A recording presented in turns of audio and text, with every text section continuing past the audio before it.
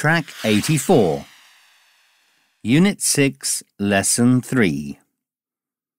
Say each sentence to yourself. Listen and repeat. 1.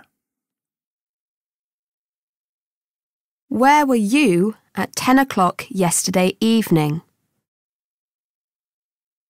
I was at home. 2.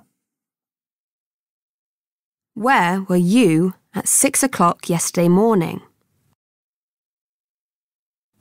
I was in bed.